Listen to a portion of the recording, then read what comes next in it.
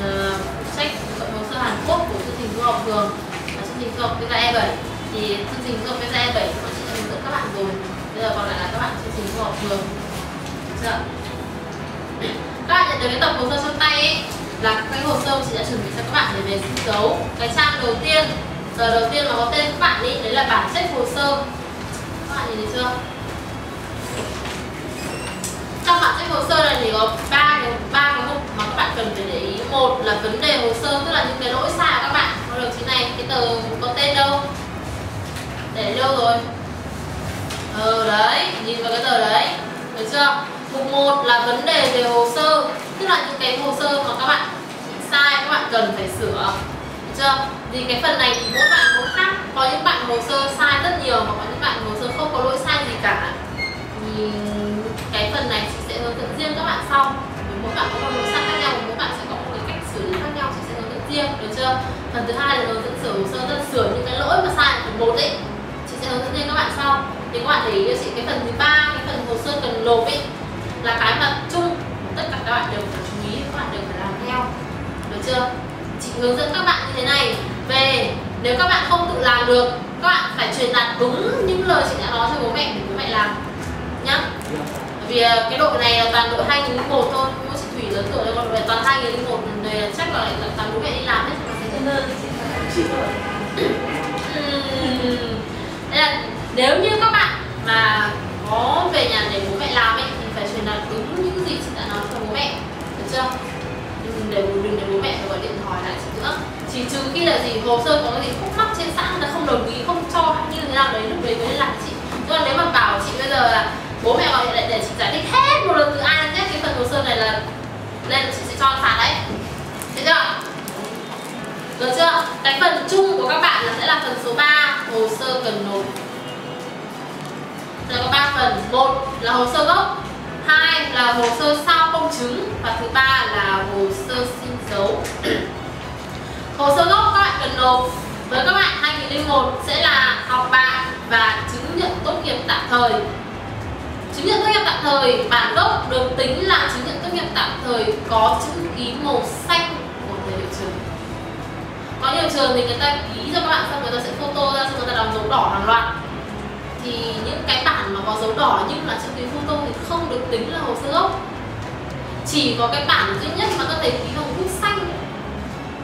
Chứ chắn là thầy ký bút xanh thì cái bản đấy mới được tính là bản hồ sơ, bản chứng nhận tốt nghiệp gốc các bạn chú ý nhé, về nhớ phải để ý, vì ở nhà có có thể là sẽ có những bạn sẽ có rất nhiều bản chứng nhận tốt nghiệp là những bản nào mà có chữ ký màu xanh mới được tính là bản gốc.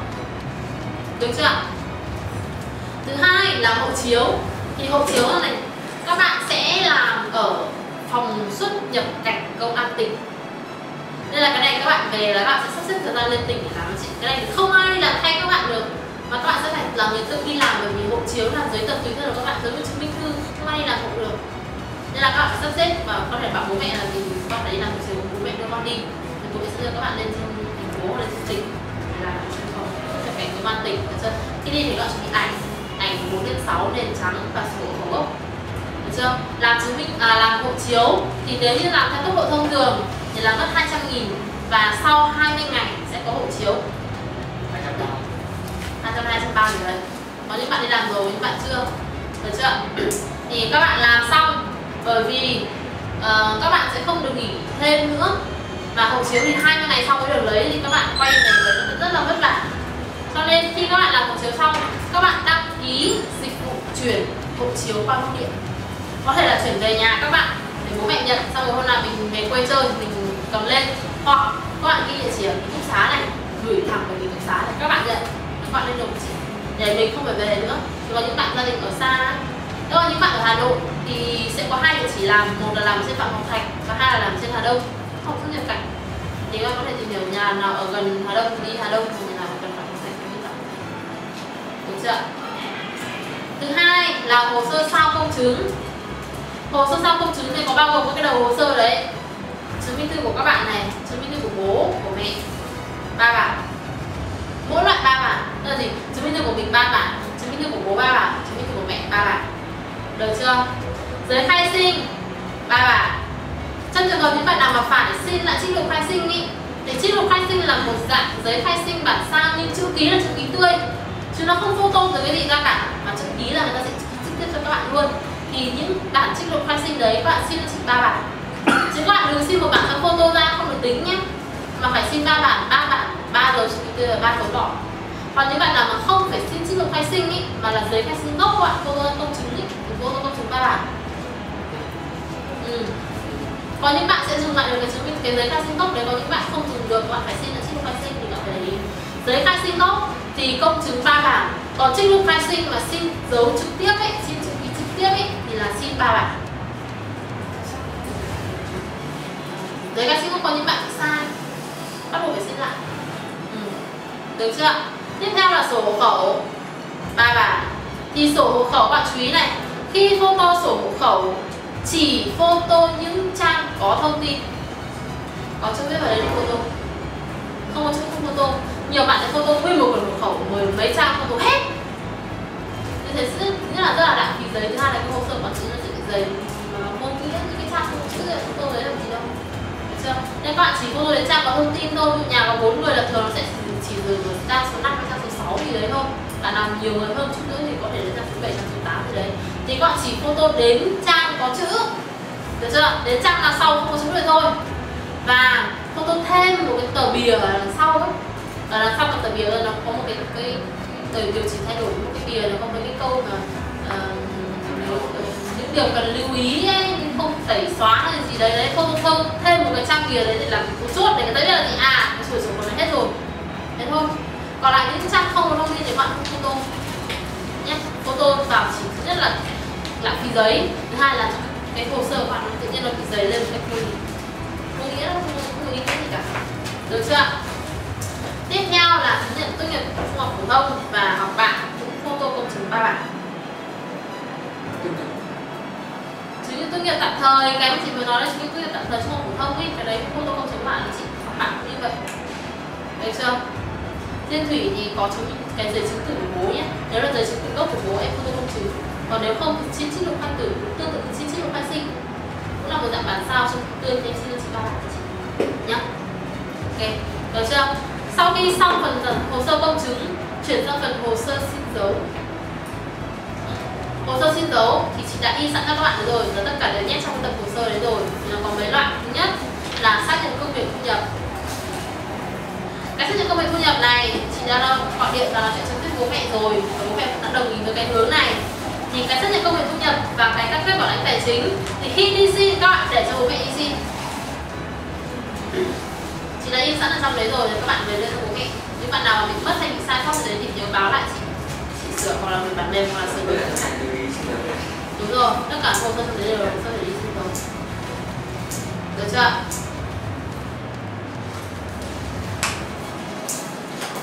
Thì trước khi xin thì các bạn nhớ là phải kiểm tra những thông tin có sai sót gì không nhé. Về các chứng minh thư sinh của bố mẹ các thứ. Số chứng minh thư nói chung là con người mà. Nên là thần thánh có lúc sai không thể trong lúc như gì mà nếu có nhầm một số này chẳng hạn. Các bạn nhớ chú ý kiểm tra gì. Được chưa tiếp theo ở dưới đầu tiếp theo là sơ yếu lý lịch. Trong này chỉ là in cho các bạn, mỗi bạn là ba bản sơ yếu lý lịch trắng và một bản hướng dẫn. Các bạn sẽ khai theo đúng bản hướng dẫn cho chị. Nào các bạn hiểu các bạn hướng dẫn đi có một bạn ờ, sơ yếu lý lịch hướng dẫn đấy, cái bản mà bôi bôi đen, bôi đỏ, bôi xanh và đấy đấy, đúng rồi. Đấy.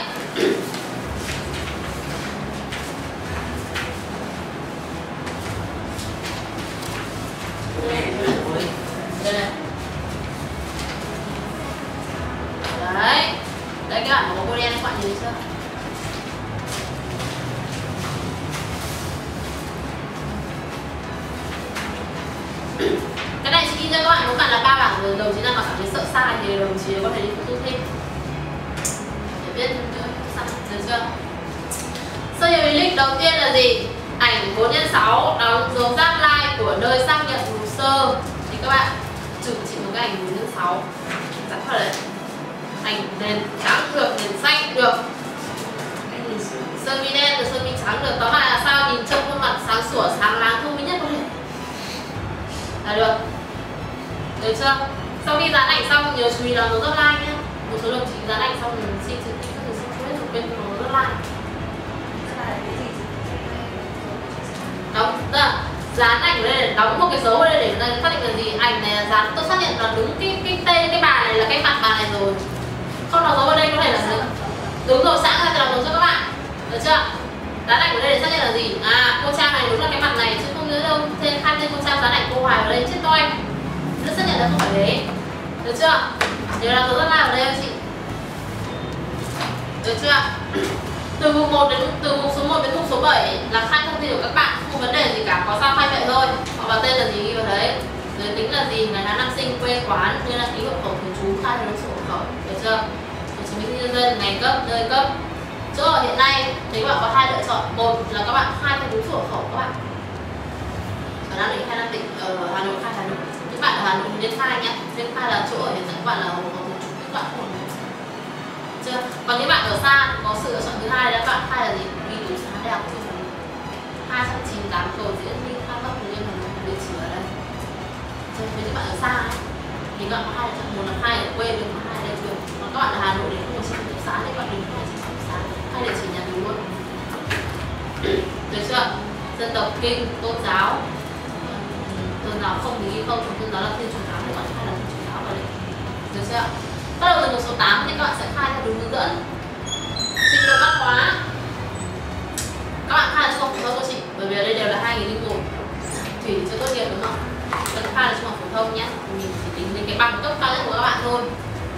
Trình độ chuyên môn không ghi trình ngoại ngữ khai tiếng hàn rồi đấy chị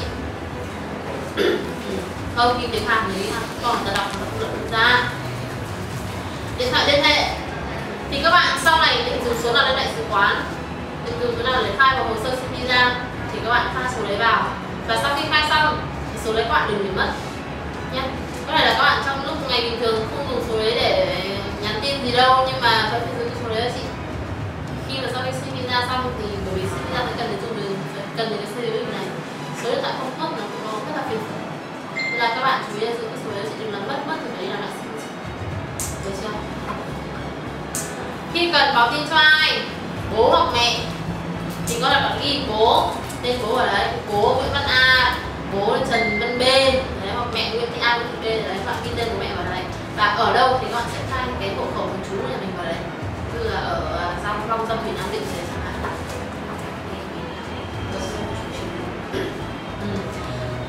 Quá trình hoạt động của bản thân quá trình được tính từ tiểu học đến nay. Thì các bạn ừ, trung học phổ thông à, các bạn hai người đi cũng rất đơn giản rồi cuộc đời chỉ có ba cái cạnh đầu vòng thôi. Tính xem lên tiểu học từ năm nào chưa? Mình sẽ tính mốc là tháng 9 là khai giảng và tháng 6 là tốt nghiệp. Thì các bạn chỉ việc tính năm thôi. 2000 thì à, 2000 2001 là đi học từ năm học cấp à, học, học tiểu học từ năm 2007 được chưa? Thì mình sẽ khai là tháng 9 năm 2007 đến tháng 6 cộng với 5 năm vào được 2012 tiếp tục, tháng 9 2012 đến tháng 6 năm 2016 và từ tháng 9 2016 đến tháng 6 2019 đấy là ba ngành đầu học các bạn. Được chưa? Ở ba năm cấp 3 các bạn khai rồi đấy làm gì? Thì ghi là gì? Học sinh trường tiểu học gì đấy? Học sinh trường học cơ sở gì đấy? Và học sinh trường học phổ thông gì đấy? Bạn khai tên gì đấy? Và bên kia thì ghi địa chỉ. Địa chỉ thì ghi đến đến ba địa danh thôi ví dụ là gì chị trạch quay được hà nội giao long giao thì hà nội thì đấy giao long giao thủy nam định và chỉ ghi ba địa danh ba địa danh thôi còn như trường hợp của mình nếu mà em chuyển trường nhiều ấy, bởi vì là người ta sẽ không tính đến cái năm cấp một và năm cấp hai thì mình cũng có hai cái hồ sơ đi nên là em chọn một trường xong đến chọn cái trường cuối cùng mà em học và em coi như là năm năm là học đấy hai cả năm năm là đấy và đến thời điểm hiện tại em vẫn đang là sinh viên của cái trường đấy thì em sẽ tham đấy là tự nhập học từ năm bao nhiêu ghi là tháng 9 năm 2016 trường đại học lên công nghệ chưa? Mặt sau. Khen thưởng và kỷ luật. Kỷ luật thì có cũng hay không? Nha tất cả đều hai không đấy chị? Khen thưởng. Trong trường hợp các bạn có đi thi học sinh giỏi cấp từ cấp quận trở lên với các bạn ở ở, ở địa phương sẽ là từ cấp huyện trở lên cấp huyện cấp tỉnh cấp uh, thành phố cấp quốc gia những cái mà có có giải vận bạn có công nhận đấy. Thì các bạn thi không phải là bây giờ không có thì thôi ở đây các bạn làm có bạn làm đi thi sinh giỏi thì sinh giỏi cấp cộng chưa hà nội có đâu chúng ta thi thi cấp cộng chưa nếu có thì bên khai nhé, còn nếu không thì bạn mình khai vào đây mình khen thưởng tính những thức thôi và học sinh phải đọc từ không được tính là khen thưởng nhé. Được chưa tiếp theo, hoàn cảnh gia đình. Đầu tiên là khai thông tin của bố mẹ họ tên bố khai vào năm sinh, các bạn chỉ ghi năm sinh thôi 1978 1968 các bạn khai vào đấy. Nghề nghiệp các bạn để chồng sau này chị sẽ ghi cho các bạn. Chỗ hiện tại thì khai sổ khẩu vào đấy. Địa chỉ thường trú sổ khẩu ấy. được chưa? Mẹ cũng tương tự như vậy. Với trường hợp của ủy thì em khai tên bố vào, xong phần năm sinh thì em ghi là đã. Cấp được chưa? Phần tiếp theo, anh chị em ruột, khai rõ là tên tuổi nghề nghiệp chỗ ở hiện tại thì chỉ người là anh chị em ruột. Ví dụ trong sổ khẩu như bạn xuất hiện bà nội chẳng hạn, xuất hiện bà ngoại chẳng hạn, không khai thì đây mình chỉ tính chị em ruột thôi. Và chỉ tính trong sổ khẩu. Tức là gì? Có anh, có chị. Nhưng mà đã lấy chồng rồi, tách khẩu rồi, anh trai tách khẩu rồi, không còn trong sổ khẩu nữa bạn không khai nhá. Cái sổ hộ khẩu hiện tại của gia đình mình mà chuẩn bị nộp cho chị có bao nhiêu người thì khai từng ấy người thôi.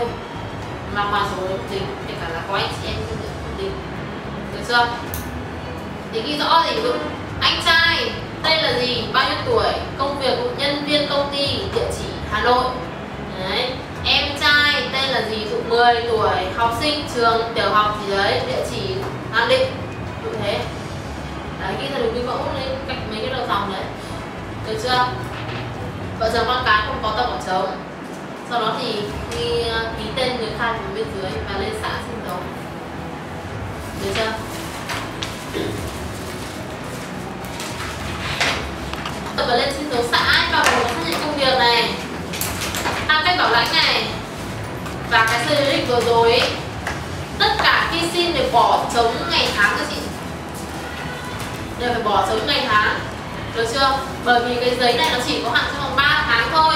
Nhưng mà cái thời gian hồ sơ của các bạn thì rất dài có thể là sẽ vượt qua 3 tháng. Nhưng đâu đây lại khi mà các bạn nộp hồ sơ lại sẽ còn hết hạn các bạn phải xin lại. Nó sẽ rất là phiền phức. Chưa cái đấy chưa mình cũng đã mình cũng lần lượt lần lượt lần lượt được chưa? Không chị tra trên mạng thì của, của ờ, con đoàn mình web là phú linh nhà em thì ở phú linh nhưng mà cái này chị tra nó đây là phú linh đúng cái địa chỉ ở trên mạng. Luôn cái đấy em hỏi lại bố chị xem nhé nếu như nó thực sự là phú linh thì chị sẽ sửa lại. Còn chị tra ở trên mạng thì nó ra địa chỉ là phú linh chị cũng đang thắc mắc là tại sao lại có phú linh phú linh lại có thêm ờ cái đấy để hỏi bạn vì là chị tra ở trên mạng là đúng cái địa chỉ của con bạn này là nó ở phú ninh, nhưng xã thì xã của em này là xã phú linh hay là nó có hai xã khác nhau hay là đấy chỉ có một cái ừ thì cái đấy về sẽ lại với chị nhất vì là cái này vì cái này là cung cấp thông tin ở trên mạng thì có thể lại thì người ta sẽ tra ấy thì mình đã tra cái thông tin đơn thế rồi người ta phải ngồi trên mạng là thành phú linh chứ đâu phải là phú linh đâu thì nên cái này sẽ lại với được chưa những cái giấy tờ này là các bạn đều phải bỏ trống ngày tháng cho chị không ghi ngày tháng vào đấy để làm sao lúc nào mà chị làm hồ sơ thì chị sẽ tự ghi ngày tháng vào đấy thì cái thời gian của cái cái cái ngày của các bạn nó sẽ nó sẽ hạn sẽ được dài ra thêm. Mình thích mình ghi mà. Thì có thể là hôm nay chỉ có thể hôm nay chị ghi ra mai chị gửi đi dịch chẳng hạn tương thế. Thì ngày tháng nó sẽ được kéo dài. Được chưa? Còn trong trường hợp là xã đã bảo không thấy ngày tháng thì mình ghi vào thì sẽ nhờ xã thì xã thì không ghi ngày tháng vào đấy. Nhưng các bạn tự tay các bạn ghi ngày tháng vào cái phần mà, mà hà nội ngày tháng năm này này năm định ngày tháng năm gì đấy. Ví dụ tháng 9 chẳng hạn thì các bạn ghi mỗi số 9 thôi các bạn đừng ghi không chín vào đấy. Hiểu ý không? Ừ, sau này nhớ đấy còn chỉnh sửa cho nó dễ. Đừng ghi không chín vào hai số. Nhiều lắm.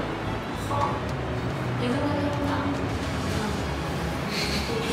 hình dung chưa vâng sẽ có nó sẽ có cách riêng của nó nhưng mà chú ý là gì không chín đừng ghi không chín. Tức là đều không ghi ngày tháng đúng rồi còn nếu được thì xin là không ghi ngày tháng. Tôi chúng tôi cảm thấy hồ sơ cháu làm thời gian thì dài. Đến lúc ghi ngày tháng lại xin lại đấy nó khó ra được chưa đấy là các cái các cái giấy tờ xin dấu xã còn cái giấy tờ giấy tờ cuối cùng các bạn phải xin đấy là gì xác nhận bảng điểm và học bạ của nhà trường chị cũng đã in ở để cho cho các bạn rồi. Thì cái này các bạn cứ về trường xin cho chị chưa chỉ là gì? Xác nhận là gì? Học bảo của các bạn là thật với những quan điểm như thế này. Và cái chứng tư của các bạn là thật. Các bạn đã tốt nghiệp rồi. Cái giờ có một số các cái trường thường người ta yêu cầu các bạn phải làm chứng thực lãnh sự trên đất sự quán chẳng hạn. Trong trường hợp cần phải làm những cái đấy. Người ta yêu cầu cái giấy tờ này. Đến lúc đấy nó chạy về xin thì rất là phiền. Tôi tốt nhất là làm những một công mình về mình xin luôn. Hoặc là các bạn có thể cái này bởi vì nó không có ngày tháng. Cho nên cái này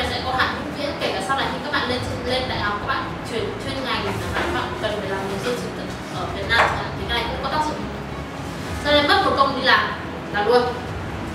Để sau để đỡ xin được chưa bây giờ không dùng. Ta sẽ dùng để dùng sau này. Được chưa? Chị sẵn ra các bạn một bạn là hai bản các bạn có thể xin luôn cả hai bản được. Được chưa? Trong đấy chị có ghi là gì? Bỏ phong bì và niêm phong. Thì có một số trường người ta sẽ nguyên tắc. À xin xong gì các bạn gọc là gọc có thể gọc làm hai gọc làm ba tùy thuộc vào cái kích thước cái phong bì ấy. Gọc là hai gọc làm ba có phong bì. Xong rồi nhiều trường đóng dấu niêm phong vào. Chứng minh là gì? Cái hồ sơ này không phải bắt tay các bạn đây là xác nhận riêng của nhà trường với đại sứ quán. Đấy. Còn nếu trong trường hợp là nhà trường không không thích đóng dấu không thích cho phong bì không thích niêm phong. Xác nhận cho này là được rồi không cần phong bì gì đâu. Các bạn tự ra ngoài mua chỉ cần phong bì đẹp đẹp mà đừng dùng cái phong bì loại đắt tiền nhé. Cái loại mà xanh xanh xanh nó có loại phong bì nếu được có loại phong bì màu trắng ấy. Nó giấy màu giấy cứng cứng ấy. Thì ừ, thứ nhất là phong bì không thôi ừ không có màu màu màu trắng không bình thường ấy. Ừ màu trắng không bình thường thôi. Đây là bởi vì là nếu mà cho cái phong bì mà nó bì cũng hay dùng để để tiền để đi đi đi ăn. cưới ừ nhất là nó nhất là nó dễ nhàu thứ hai là nhìn nó không có đẹp mắt. Thì mua cái phong bì đẹp đẹp và và dán nó thế là xong. Được chưa? Về nguyên tắc là vẫn phải xin dấu nếu các bạn không xin được nhà trường ta làm khó là làm căng mà không tôi nhất định tôi không cho có như thế. Thì các bạn đi cô sẽ đóng dấu ở đâu được ở trên phong bì phong bì thì dán dấu niêm phong ở chỗ các bạn dán các bạn hiểu ý nào là niêm phong không? Giống như niêm phong bài thi ấy. Cộng dấu vào đấy là gì? Không có ai mở ra cả. Nếu mà mở là cái không, cái dấu nó sẽ bị xê dịch đi. Người ta gọi là dấu niêm phong được chưa? Thế bạn cứ về xin nhà trường đồng ý cho thì tốt. Thì nếu nhà trường kiên quyết là ta không cho thì đi cô thì Vậy cho bạn mở không có dấu. Không có dấu không có dấu thì thôi. Ra nhà trường người ta cứ người ta đóng dấu mà. Mình làm như vậy. Còn nếu xin được là cái tốt. Được chưa ạ? Đấy là xong về cái phần hồ sơ chung bạn nào cũng phải làm như vậy được chưa thế còn cái phần vấn đề hồ sơ và hướng dẫn hồ sơ ấy, thì mỗi bạn sẽ có một cái lỗi sai khác nhau thì bạn nào mà sẽ ghi là không có lỗi sai thì có thể đi về Giờ ở đây là có Hoài không sai lỗi gì đúng không? Thượng Anh có sai không? Có sai đúng không? Anh có sai không? Hình như là sai hết đúng không? Có có lỗi sai đâu trong bản chất Hiếu có Hiếu có lỗi sai không? em sai là ờ, bạn ấy đi ghi tên lớp chị ạ. Những bạn nào những bạn nào có lỗi sai thì nó sẽ ở lại. Các bạn cách sửa cụ thể, còn hoài có thể đi về nhé.